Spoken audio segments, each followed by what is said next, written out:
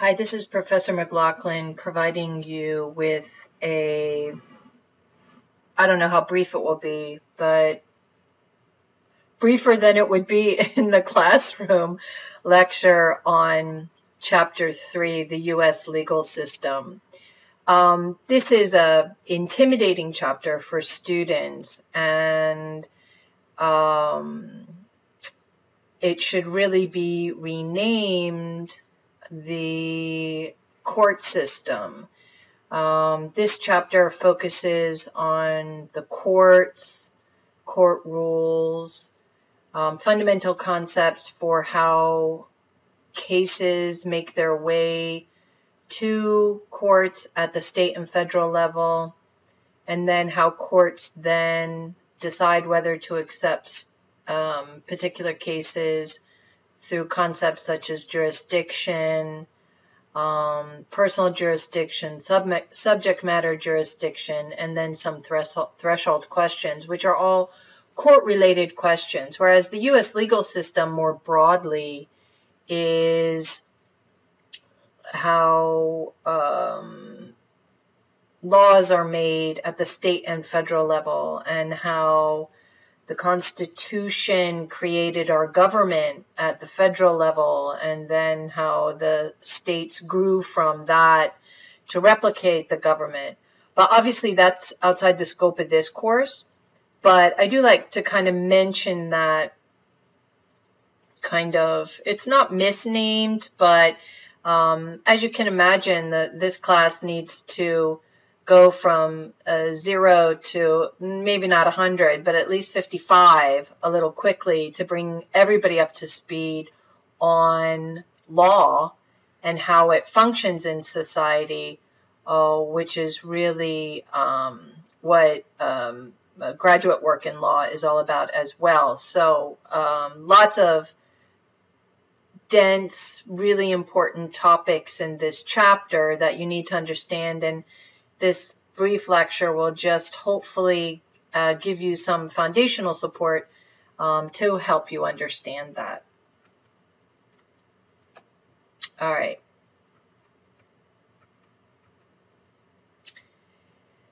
So, jurisdiction is a very fundamental, big question. What court do I belong in? And I want you to free yourself a little bit to um, rather than ex- just accepting a news article that tells you that this court heard a certain matter, to understand what went on behind the scenes where everybody understood that the court had the power. How does a court have the power to even hear that dispute? When parties have a dispute, where do they go? Who knows that? It's not some mystery. And frequently, um, lawyers might get it wrong and send a case to um, the wrong court. But but then who who really ultimately decides that this case can be heard by this judge? And that's the court itself. So the lawyers involved in a matter, the parties involved in the matter, the issues involved in the matter are all floating, kind of orbiting the sun, so to speak, which is the court itself, which has its own integrity it must maintain, its own rules it has to follow and abide by. Courts are not all powerful, and um, I think it would make you a better business person if you understand the the struggles that go on rather than accepting wholesale courts have a lot of power. They never really do justice.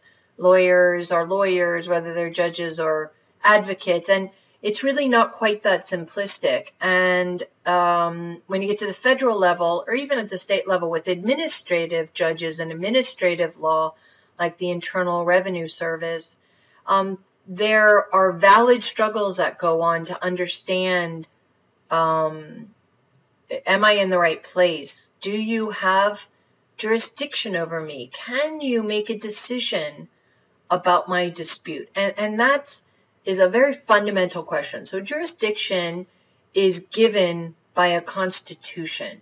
Jurisdiction is given by the U.S. Constitution State courts are created by state constitutions and state civil codes of procedure, which tell a court what it has the power to hear. So original jurisdiction is all about cases when they first get to the legal system. That very first lawsuit. I'm suing you because I slipped and fell in your store. You're suing me um, because I'm a vendor that committed fraud or breached a contract. You as a uh, client, you as a corporation. Where do I go first? Wherever I go first, doesn't matter. Wherever I go first, that's original jurisdiction. Then if I lose and I want to appeal, I'm going to go to the next court. And that's, that's not the first court. First court are, is already done. I'm going to go to an appellate court. An appellate court has power to review a previous court's decision. Not everybody has that power. Only appellate courts have that power we call that power jurisdiction, appellate jurisdiction, the power to review a previous judicial decision. Because you're asking the appellate court to decide if the lower court made an error. Was there a boo boo? Did someone get confused? Was the law not followed? Was a mistake made? Not every court should be able to do that. Only appellate courts can do that. So jurisdiction is very fundamental. Can the court, does the court have power over me? Is it my first time in, in as a dispute? Think of me as a dispute. Is it my first time entering the legal system? Or am I asking you to review what a previous judge said about me? So that's jurisdiction. And then, like in onion, there are layers of jurisdiction. So does the court have power over me as a person because I live in the county of Orange, but the accident or the breach of contract happened in the county of LA. And I'm a corporation and I'm located in the county of Orange, but the vendor who breached the contract is in the county of LA. Who should have power over me? Okay, in personam jurisdiction, power over me as a corporation, power over me as an individual. Where do I have a right to file this claim? Okay, so courts have power geographically over individuals, and sometimes there may be a time when when you're looking at a particular dispute and you're like, yes, one person lives in Orange County or one corporation is located in, in Orange County, but most of the other parties, the vendor, the presidents, the the contract was signed in LA. At some point, I, I you know the Orange County Court may have power over me, but it makes more sense to be in LA County because believe it or not, courts are really concerned with efficiency to get this dispute resolved quickly, I, I want this dispute to be heard in the place that makes the most sense, that I have the power, the court has the power to hear it, but also it's efficient. Where the parties traveling from? Where are the most contacts? Where did most things happen? Where are most things located? So a very efficiency related argument for in personam jurisdiction. Having said that, courts, I mean, it would be a stretch for two persons with a contract dispute in Arizona to wind up in Orange County Superior Court. There would be no jurisdiction for the Orange County Court to hear a matter that happened in Arizona. All the parties are domiciled in Arizona. So that's a jurisdiction calculation. And then that's an in personam jurisdiction calculation. A subject matter jurisdiction calculation looks at what kind of case is it? Is it a contracts case? Is this a family law case? Is this a tort claim? Is this a bankruptcy? And do I have a, as a court have power over that subject matter? So there are criminal courts. There are family law courts. There are bankruptcy courts. And those courts are limited by subject matter jurisdiction. So those kinds of organizational decisions are given to the courts. Pardon me, I have to cough. I'm so sorry. given to the courts through various, either through the Constitution, through the Civil Procedure Code. But for your purposes, what I really want you to kind of get a sense of is there is an organization, there is a power that the court has to decide that it has over you, and there are arguments to be made that the court has no power over a particular dispute. And those are jurisdictional arguments. So some courts, and typically federal courts, have exclusive jurisdiction over exclusive subject matter. So bankruptcy is federal law, federal criminal prosecutions are federal law, uh, patent, trademark, and copyright claims, which are all intellectual property, are federal. So they'll go to a federal court. And that's another layer of the onion where you want to begin to ask, is this a, a federal case or a state case? And that's I don't know if anybody this day and age is familiar with the euphemism, don't make a federal case out of it.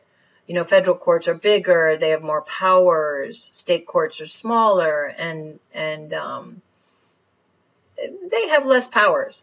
Um, they have powers given to them by the federal government, by the state constitution. Things that the feds don't want to dispute, uh, hear disputes for, remain in state court.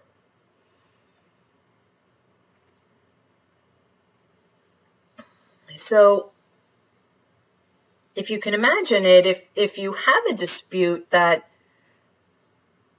maybe was activities that involve two different states, how are you going to decide? So California and Arizona, corporation in LA does business with a vendor in Phoenix, Arizona, and they have a dispute. Where's that dispute going to go?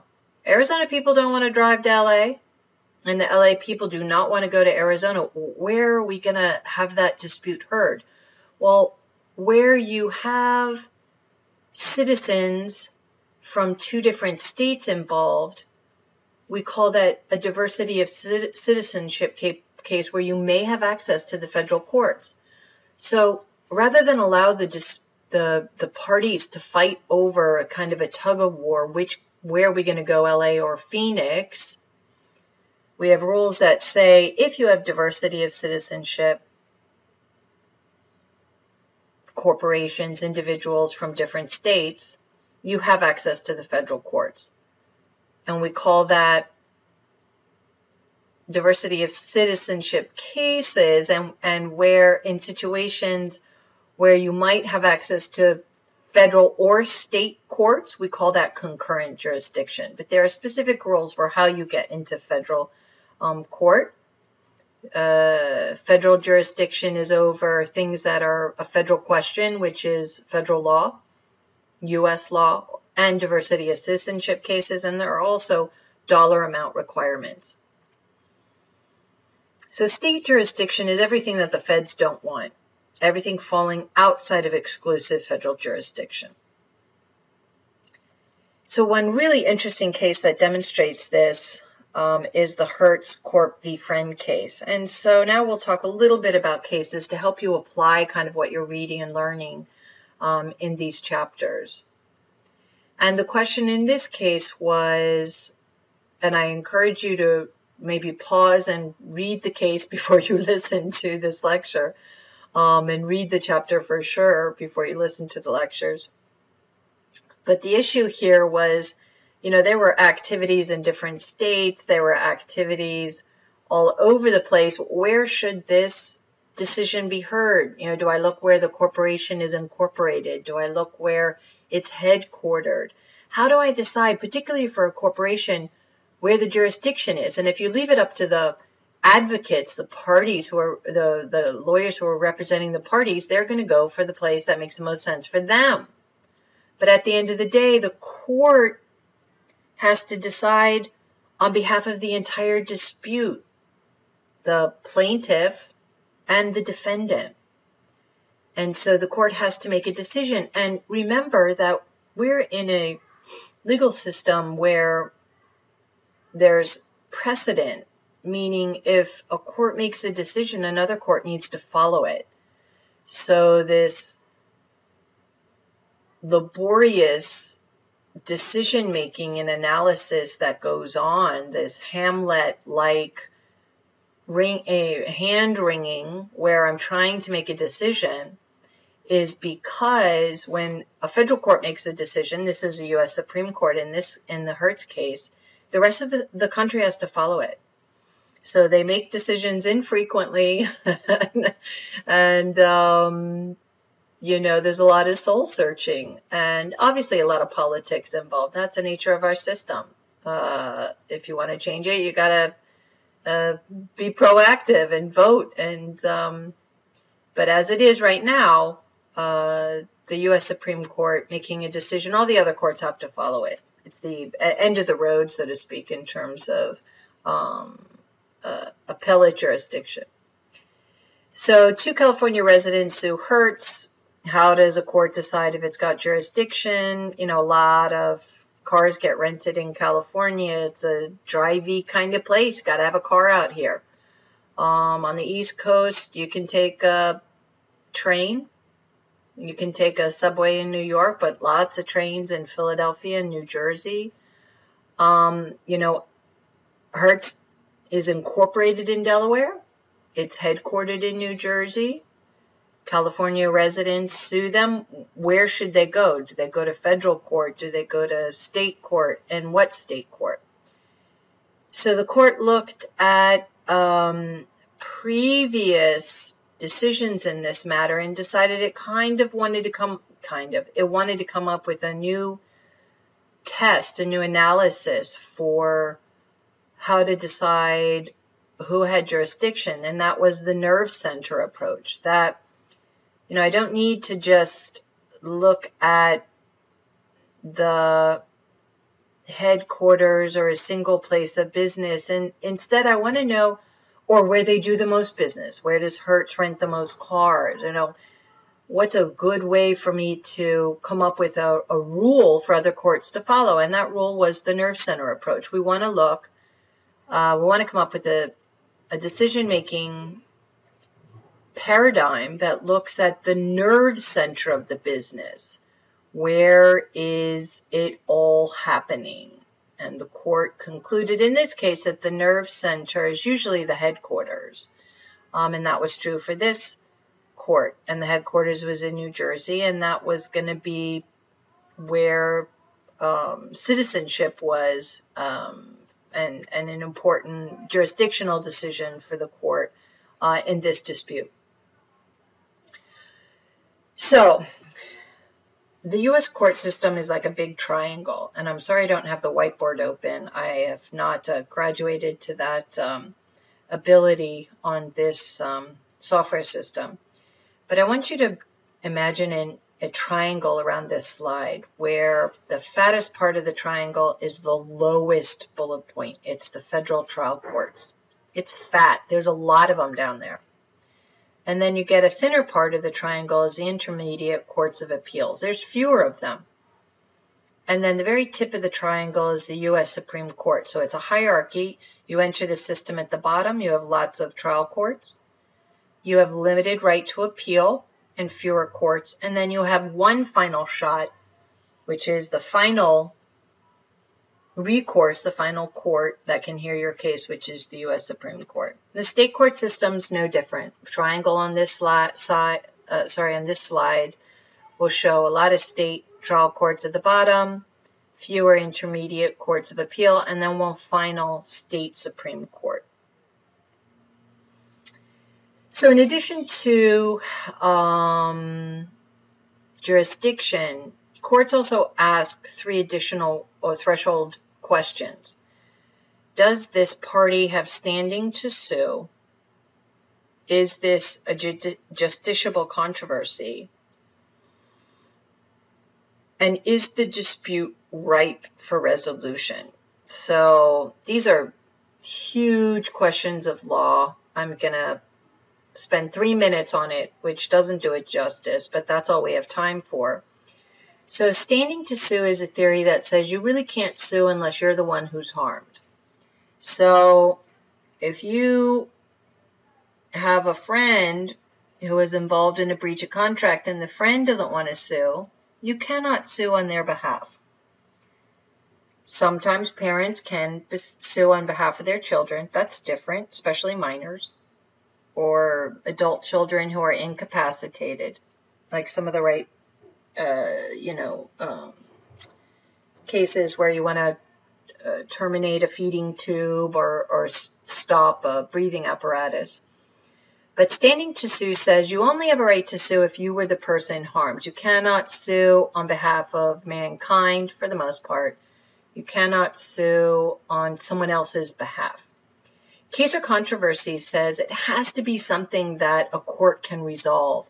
You cannot ask the court to declare that there is a God, declare that um, love exists, prove that unidentified flying objects exist. It has to be a dispute a court can resolve, something justiciable. And then finally, ripeness says you can't sue too soon and you can't sue too late. So, uh, best examples of this are uh, cases that involve terminating a pregnancy. You need to be pregnant can't sue before you've conceived, and you have to sue before the baby is born. Um, another great example, or very, very um, factually good example, are same-sex marriage cases where you have to sue at the time. It's it's kind of why when same-sex marriages, it's not why, but it you'll get a lot of couples that uh, when same-sex marriages become legal, they'll go get married um, you know, and then if it becomes illegal in a specific state, um, you know, you, you cannot sue to declare same-sex marriage constitutional or unconstitutional unless you're actually married. It doesn't, the, the court doesn't um, declare things um, as valid or invalid, you have to sue. So the case before the Supreme Court right now for same-sex marriage is a Ohio couple, and I don't think that decision's out yet. We would have heard in the news. But an Ohio couple was validly married in another state. Ohio does not recognize same-sex marriage. They also adopted a child in another state, and Ohio, since it doesn't recognize the same-sex marriage, did not recognize the adoption as valid as well. And so that case made it to the Supreme Court where the Ohio couple was challenging Ohio's right to um, not recognize a same-sex marriage from another case as well as an adoption from another case. That's ripe. An adoption happened, marriage happened. You can't do it too soon. Um, that's ripeness. So these next couple of slides, the, the steps in civil litigation. So many of you are very familiar with this because there's a lot of TV shows that show you all this stuff. But just quickly, informal negotiations where you say, hey, um, you know, I'm not feeling too good about this breach of contract. Can we talk about it? Can I, can we have a discussion? Yes, that doesn't go well. Okay, I'm going to sue you. Fine, sue me. And then there's rules within the civil litigation, the civil procedure code that says, um, you know, I have a right also under the Constitution be, to be notified that I'm being sued, and that resulted in service of process. And so, service of process is where you get the sheriff or somebody over 18 to serve somebody else and say, hey, just so you know, you're being sued. And that completion of that process is very uh, important for constitutional reasons, but also for civil procedure reasons. And then um, everybody has a right to respond after I've been sued. Hey, I didn't do it. Um, everything they said in the complaint is wrong. Then you'll have pretrial motions, a motion to dismiss this case, um, motion to compel um, certain documents be turned over, that kind of thing. You'll have discovery where I get to interview potential witnesses under oath and find out what they're going to say. I get to ask you for documents. You get to ask me for documents. pretrial conferences, um, jury selection, which is just huge and constitutional and lots of protections.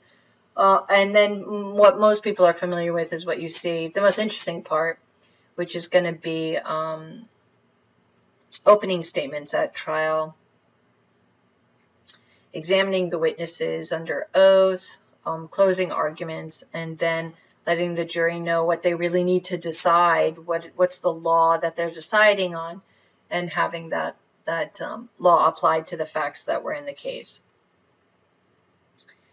Um, appellate procedure, uh, for the most part, this slide is really meant to uh, give you an idea. So we've gone through the original trial, and when we go up to the appellate court, we cannot get all those witnesses in there again. The appellate court's going to make a decision based on the record that's provided them from the trial below. You do not get a second bite of the apple, which is a very popular thing to say in law. Your only bite of the apple is your first trial court when you go, which is why you object and you make sure things get in the record because if you do appeal, if you do lose and you appeal, that's all the appellate court gets to see. You don't get it, you get a little bit of chance to brief and describe uh, what went on. But for the most part, that's your one bite of the apple is a trial court. When it goes up to the appellate court for review, the appellate court can either affirm what went on in the lower court, request a modification uh, this was okay, that wasn't so hot, we need to modify what happened below by this, this, and this. They could reverse what happened below. So that would be um, a reversal.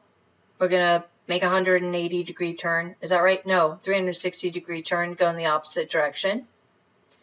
Or we could, the appellate court could remand it, which means sending it back to the lower court to look at it again with specific instructions. So those are some um, words that would be good to know for appellate court decision making. So this this chapter is super important for the rest of the course because the rest of the course talks about cases and it talks about jurisdiction and they talk about right to hearing. And so chapter 3 works very closely um, with the remainder of the course. Uh, understanding chapter three and the vocabulary in this chapter um, is very important for the other chapters for the remainder of the course. These, as I said before, um, these these chapters are building a foundation. This chapter, chapter four, chapter five, constitutional law, for uh, what we see moving forward in terms of um, cases that we're going to read, but also understanding of the specific areas of the law when we get to um, the chapters that cover specific areas of law, which happen so quickly um, with these summer courses. Uh, okay, I'm going to end it there.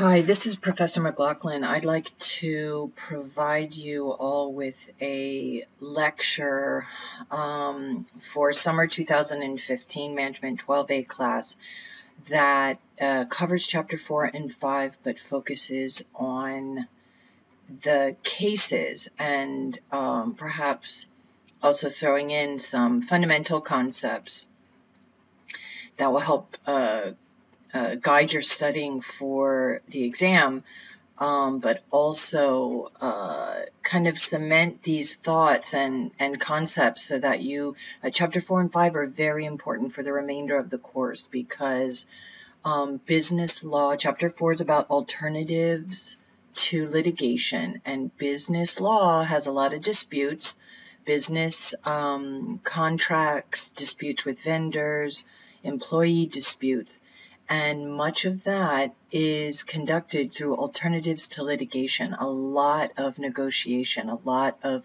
informal mediation goes on in the workplace. And for those of you who are working, I encourage you to look around and look in your own employee handbook, um, look on your company website if it has one to determine how they're resolving um, disputes internally and maybe externally. And and and why is that? Um, if you've paid attention to litigation in the United States on a personal or a business level, um, it's it can be very expensive. It takes a long time. Um, it's very crowded. Typically, you need a lawyer. Uh, it's very expensive. And so business has for centuries um, developed uh, expert groups who can help resolve disputes. And that is um, when I did mention the medieval guilds and um, uh, kind of the Greek and Roman uh, business dispute resolution through mediation. Um, uh, one of the um, uh, initial reasons why alternatives to a judge were considered was because in many industries, having someone who understands your industry help resolve the dispute is very advantageous.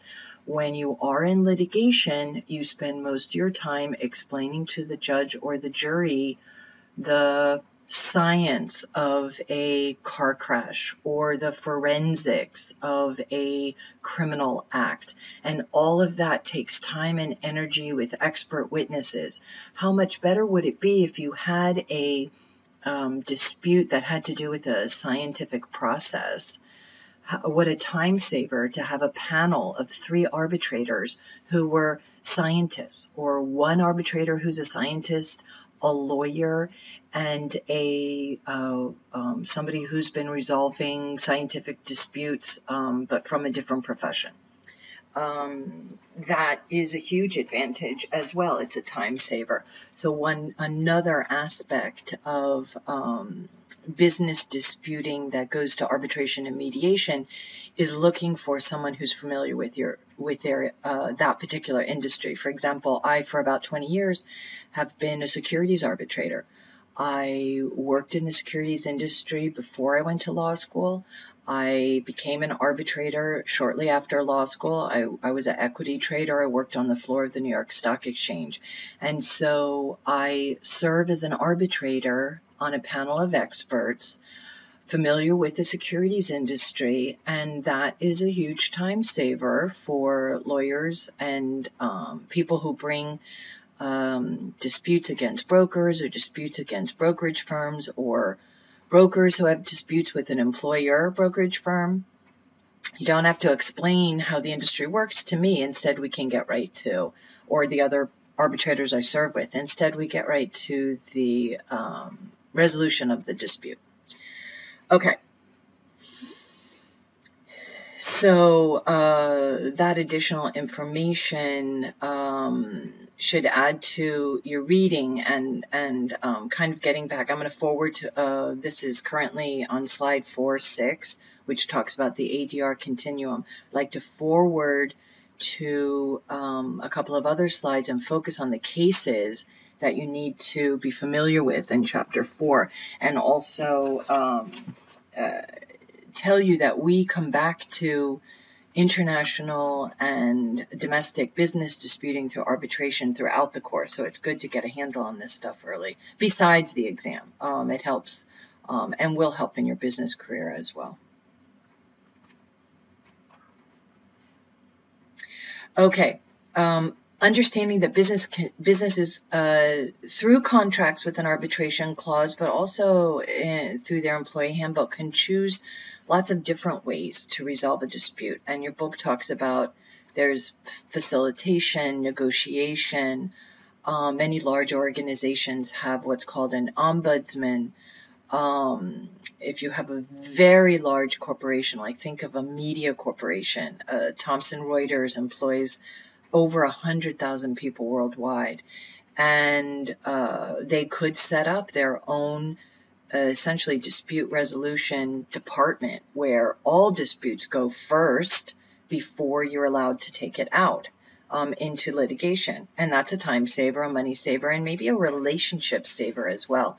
So one of the big advantages of these informal uh, non-litigious, not yet litigious dispute resolution methods is that your your um, ability to maybe maintain an employer employee relationship, your ability to maintain a relationship with a vendor that you've been contracting with for multiple years. Um, disputes don't always arise. Um, it, it's not always personal. Sometimes it's personal when it's not personal, but you can't resolve it.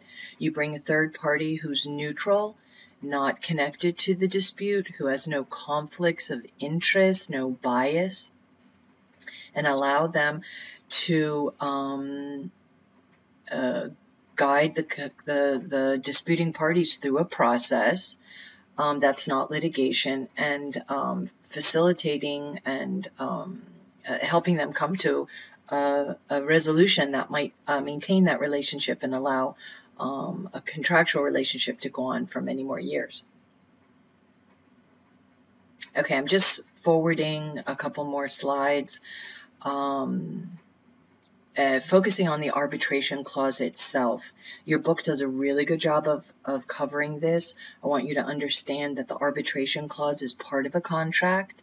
Um, mediation is very different. You usually agree with the person, with the party that you're having a dispute with to have, bring a mediator in, um, or a court can require you to go to mediation in an attempt to settle, resolve a dispute. Um, most cases in the United States are not litigated. Only 5% go to litigation. 95% settle. And sometimes that is because of um, mediation efforts, uh, arbitration clauses where arbitration has um, uh, maybe it, uh, sometimes disputes settle during the arbitration. Uh, sometimes litigation settles during the, the trial um, parties, uh, you know, new facts arise, parties come to an understanding of the dispute. Um, the entire, um, um, all dispute resolution processes are an attempt, and it kind of begs the question, are an attempt to resolve the dispute. Litigation just does it in kind of a brutal way. Um, arbitration and negotiation try and do it in a more collaborative way. So arbitration clauses are found in contracts. Take a look at what your book talks about in terms of what can be in the arbitration clause. It can be very specific. Contracts don't, you know, you can add and amend contracts. You can make the arbitration clause extremely specific, detailing, you know, what city you want to have the dispute resolved in, how much you want to pay the arbitrators, um, you know, what rules apply. So it's a lot of flexibility. Whereas in state court, you know, you are just entering the system and the system tells you how to do things. And there is a efficiency and an efficacy to that as well. Um, okay. So just fast forwarding what, what we talked about on Monday night in our class was the uh, case opener in chapter four for Hooters and, and what it, what it details, um, is a unconscionable um, contract and unconscionable arbitration agreement where um, uh, this is a legal term of art that just describes a situation that is very oppressive, dictated by a dominant party, um, manifestly unfair, and the law rejects this, um, despite what um, I'll have to look into it. Your classmate said that Hooters still does this. Um, you know, that's just a shame. I'm still upset about that. Okay, so we talked about Hooters. I'm not going to test you on the Gilmer case. Um, I want you to know about mediation. Um, it, it's covered very well in the book. I want to get to, and negotiation, I don't spend a, lot of time talking about it. Um, you know, negotiation goes all on all the time in business. It is a dispute resolution process, but it's also much more than that. It is a method by which deals are made, a method by which contracts are um, discussed. It goes on in meetings. You probably do it all the time in your professional and personal life. Students negotiate with me all the time. So that is a, um, it, it it is a dispute resolution process. Um, it is also a um, part of civil litigation where you begin negotiating early on with uh, someone you're having a dispute with, someone you've had a car wreck with. Lawyers negotiate. So it's just very broad and and um, and has many um, characteristics, one of which is dispute resolution. So that's kind of all I want you to know about negotiation. Um, all right, so let's talk about the Concepcion case. This is an important case, and, and hopefully you'll see when you begin to look at cases in this book, particularly in chapter four um, uh, and five, uh, following along with our critical legal thinking, you are looking at cases and trying what is why is this case in this chapter? And the Concepcion case is in this chapter because someone had a cell phone agreement. That cell phone agreement said they had to go to arbitration and they didn't want to. And it sim- Concepcion simply stands for the U.S. Supreme Court saying that if you sign a contract that has a binding arbitration clause and that arbitration clause isn't unconscionable, you weren't dominated by the other party, then you're bound by it and you cannot um, simply reject it in order to get into some other class action lawsuit or something else. Instead, what the Concepcion case stands for is the U.S. Supreme Court respecting the federal arbitration, um, um, the legislation um, uh, under all the federal arbitration laws that say that if parties enter into these arbitration clauses voluntarily and consensually, then the law needs to respect that. And you don't get to just burn it when it suits you.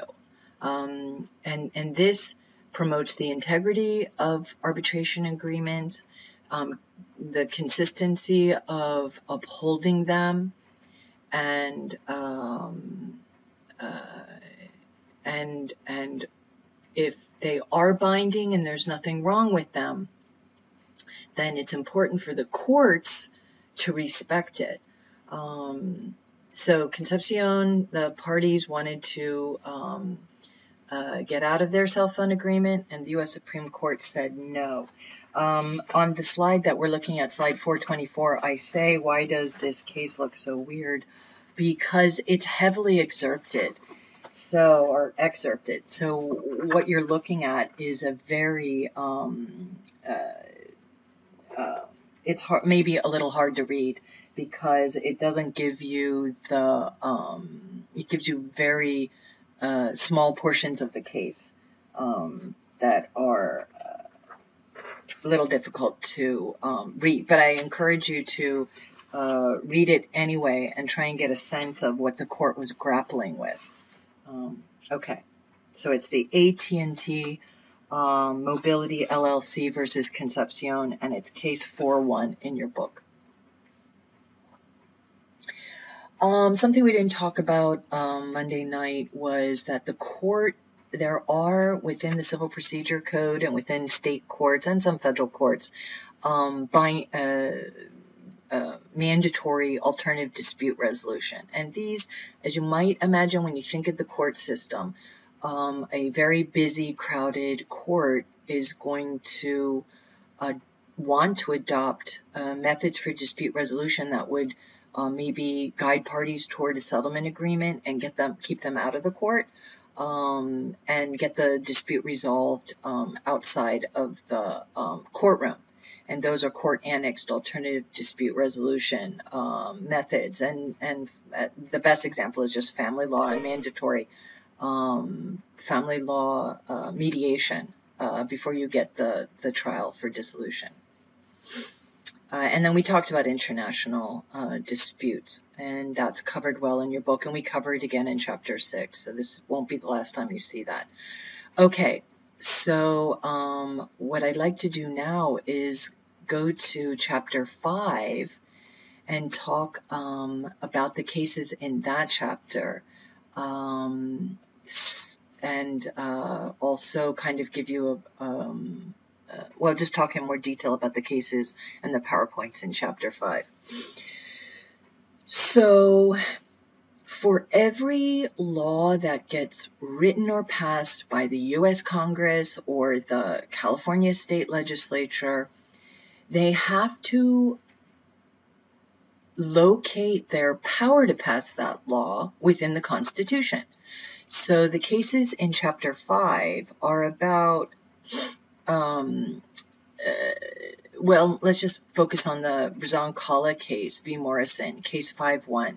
This case is about whether Congress has the right to pass this law. And I think it's a, a good case to have in this um, chapter because the the fact that it's about a um, uh, a rape um, kind of uh, um, creates the the almost a very good factual scenario that helps you um, think about how Congress could possibly pass a law um, that provides a penalty, or what the slide says, a civil remedy for rape, which is criminal and typically punished uh, criminally at the state level.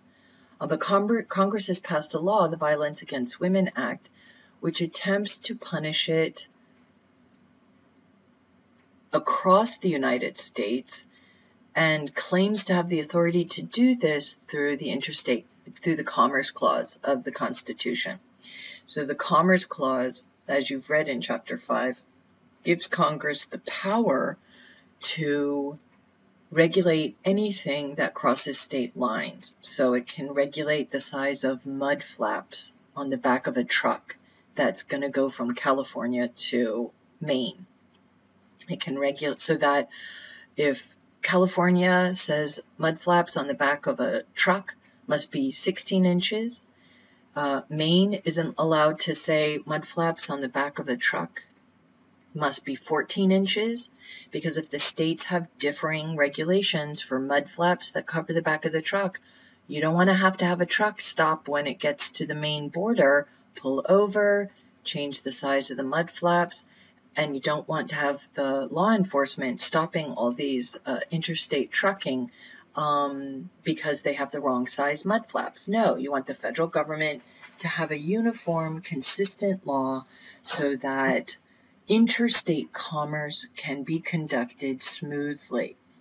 Um, the best example of how this is in stark this this concept of uh, having consistent laws, um, same-sex marriage and uh, marijuana legislation are a great example of how the federal government is grappling right now with inconsistent laws throughout the states that affect interstate commerce. So you can imagine, um, you know, it's not just the the smoking of marijuana that will affect interstate commerce. It's the shipping of uh, derivative products and oil and uh, maybe things, uh, whatever the um, products are derived from um, the plant itself? Can you ship that? Can you regulate it? And all of this, I want you to think about it outside the fact, if it, that's possible, that it's a class one drug.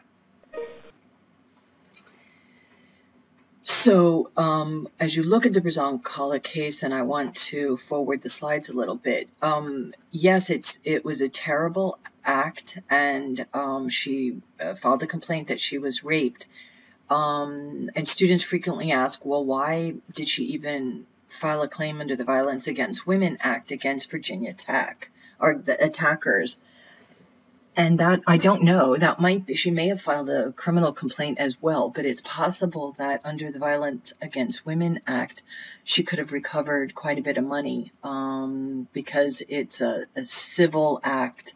It's a civil provides a civil remedy um, for a criminal act.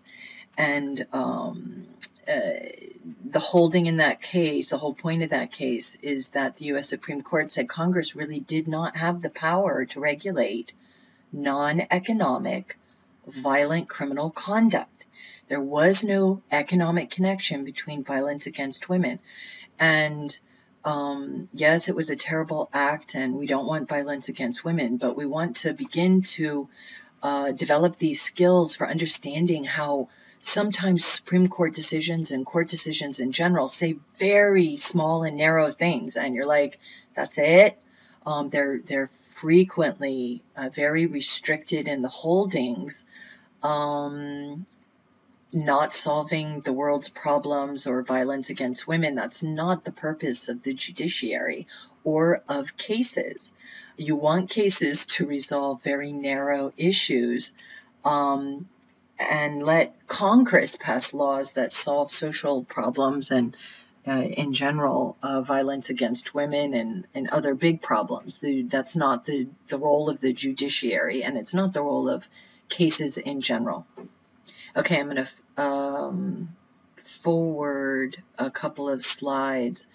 So uh, just to kind of um, talk a little bit uh, about a second case, the Family Winemakers of California versus Jenkins. Um, this case, uh, the issue is a 2006 Massachusetts law, uh, law that um, violated the Commerce Clause by putting limits on how certain sized wineries could distribute wine.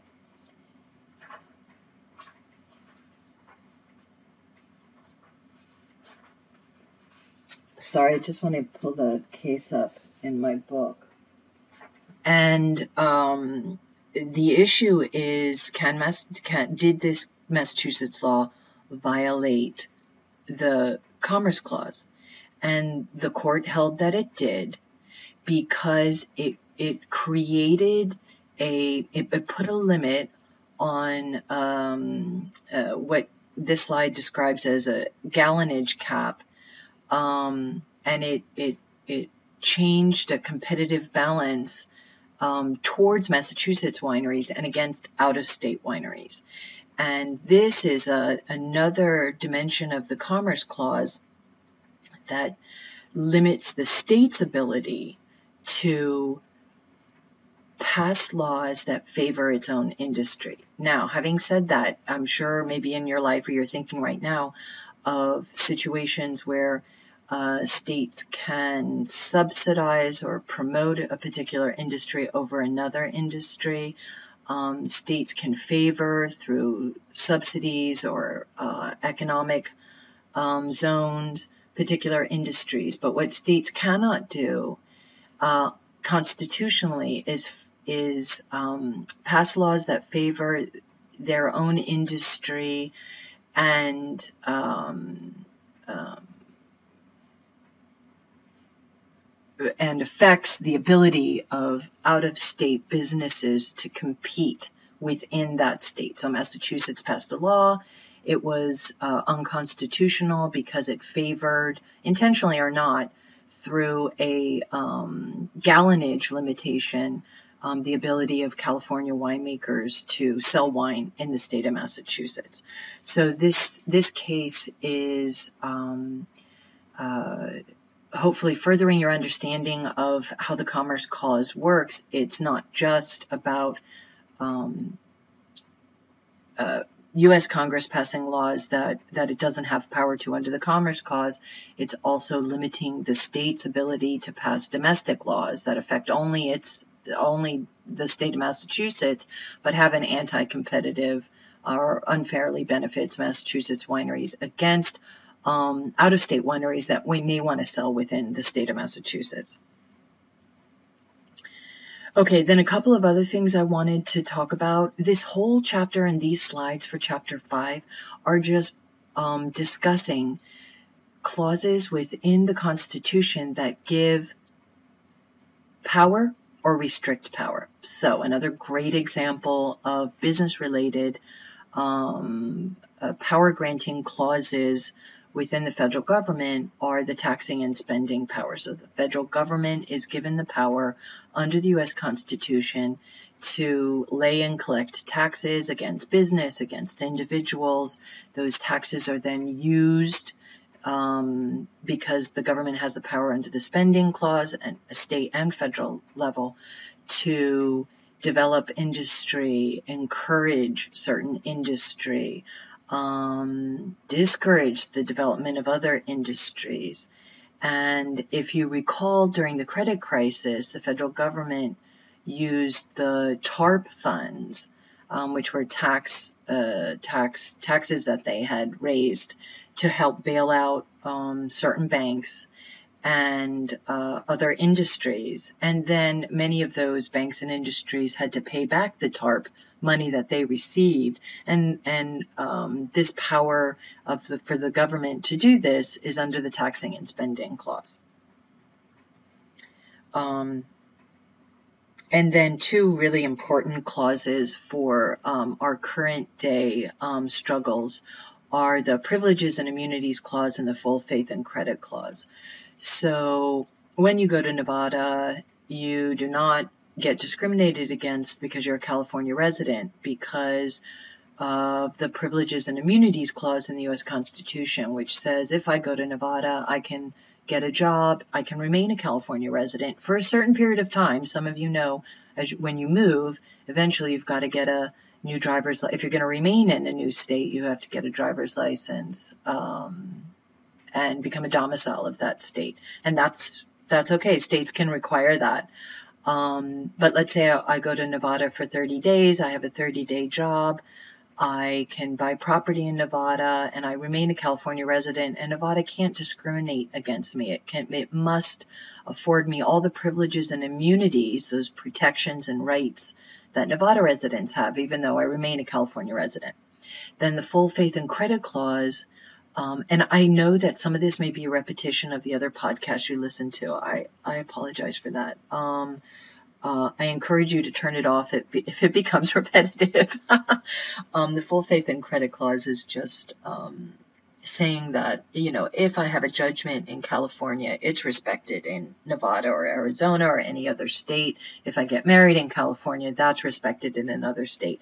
And this clause is where we have trouble with uh, same sex marriages where some states grant it and some states don't the amendments are, are really um, covered well in your book. What I want to encourage you to do is when you look at the cases in chapter five, you're looking at the way that the um, government the, the, the U.S. the U.S. Supreme Court is weighing the power of the government to regulate a certain activity and the rights of whomever it is, if it's an entity or a corporation or an individual, to exercise a particular right. So the government has a right to um, hold hearings and ask people questions. And so, for example, under the Fifth Amendment, individuals also have the right at that hearing to plead the Fifth Amendment and not testify against themselves. Um, Fifth Amendment has a lot of um, other things in it. One of the big ones is uh, the government isn't allowed to take property for public use without just compensation. Um, so if the government wants to build a freeway, um, but there are properties in that um, location, the government needs to provide just compensation and buy um, those properties. Just compensation does not mean fair market value um, but that's also a constitutional provision in the Fifth Amendment.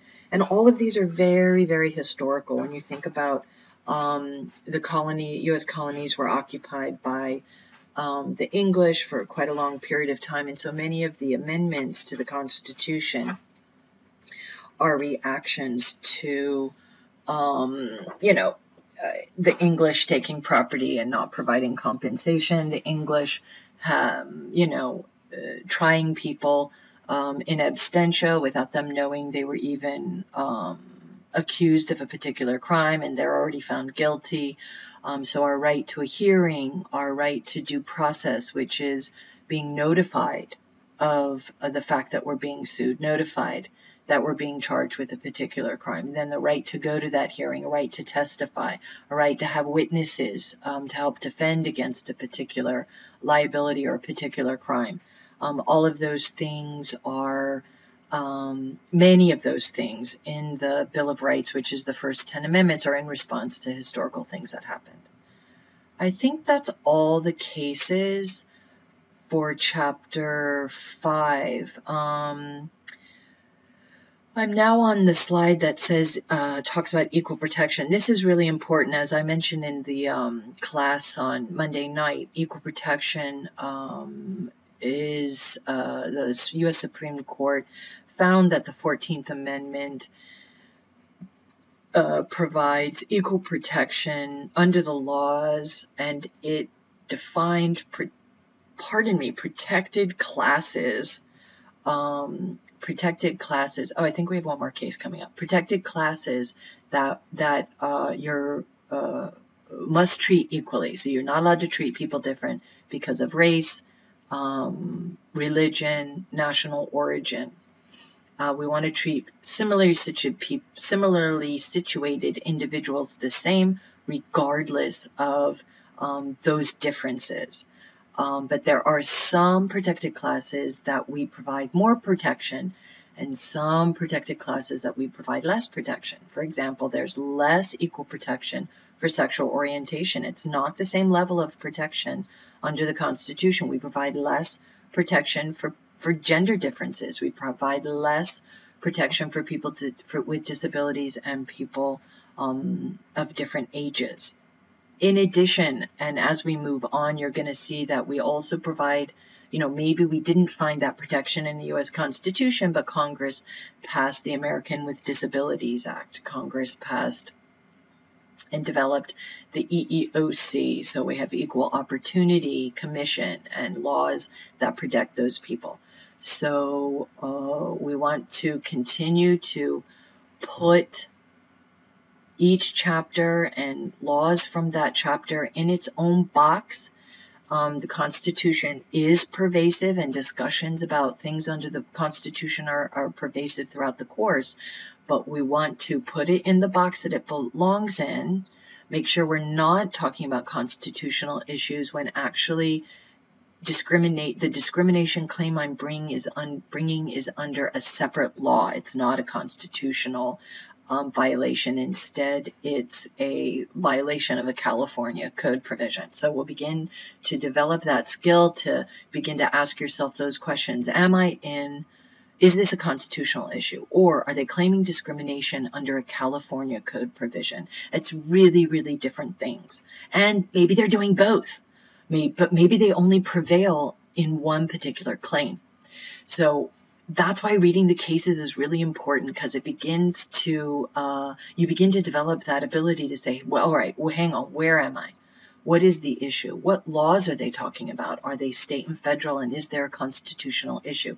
And as you begin to see that people can bring claims in multiple ways just like why did Brzonkala, I know I mispronounced her name, bring a claim under the Violence Against Women Act? Did she bring a rape claim under the state of Virginia criminal code, were there violations of Virginia Tech's code of conduct, you begin to see that there are different claims that can be brought. It's it's a great practice to first ask what's the issue, what are the facts, what rules am I looking at, and how did the court conclude based in this very, very specific narrow case. So the final slides don't really talk about a particular case, but they do these are tests that were developed over uh, many, many Supreme Court cases. And it, it, it, what these tests kind of describe are those different levels of protection that I was discussing a couple minutes ago. So there are some classes, suspect classifications, where we do not let people um, treat individuals or entities differently, we provide strict scrutiny. We look at it very carefully. If somebody's being treated differently because of race, national origin, or citizenship. Okay? Top, top scrutiny for that. So the government, if it passes a law and treats somebody differently because of that, we're very careful to analyze that very carefully um, in the court. But then there are other areas such as gender legitimacy of children.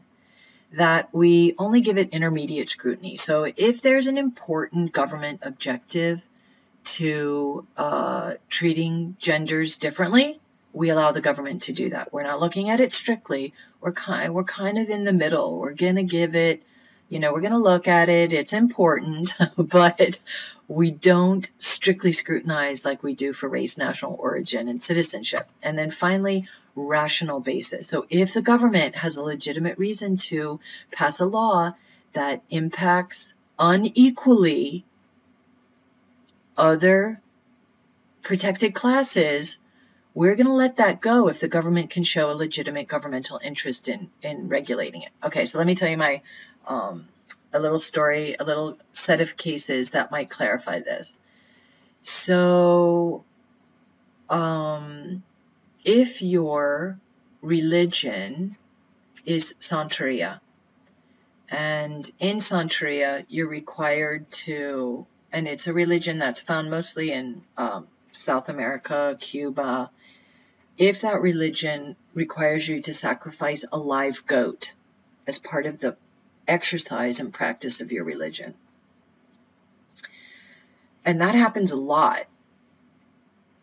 That might violate some health and safety code provisions in a particular city, might violate some animal welfare provisions in a particular city.